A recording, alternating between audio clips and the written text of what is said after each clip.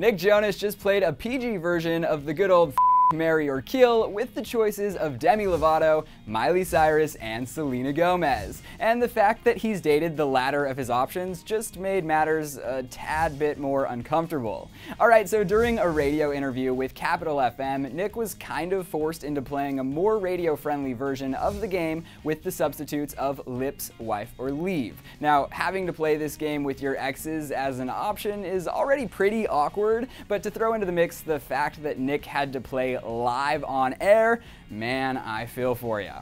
Before answering, Nick premised his choices by saying, I'm in a pretty happy relationship, that's the disclaimer. With that being said, I can have some fun. Nick is of course referring to his girlfriend, Olivia Culpo. Now to the goods. Nick chose wisely saying, Demi, obviously wife, because we're like brother and sister, and friends, and I'd prefer to spend my life with her. As for choosing between the two exes, well, I'll let him break the news.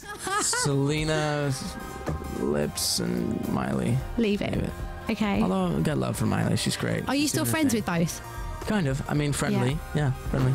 So, see, they're friendly, no shade. Nick went on to jokingly explain that what people don't understand about games like this in interviews is that there is a chance that Miley and Selena will have heard this and he'll have to see them at some point or another. But you know, surely Miley and Selena do have a sense of humor and have no doubt been put in similar situations, so don't sweat it, man. So, most importantly, what do you guys think of Nick's answers? Let us know who you'd lip, marry, or kill in the comments section right below. And then, hey, don't forget to subscribe, and you've got to click right on over here to see what Selena was rocking at the Golden Globes after party. And let me tell you, it doesn't disappoint. Thanks for stopping by Clevver News. I'm Ryland Adams, and I'll see you right here next time.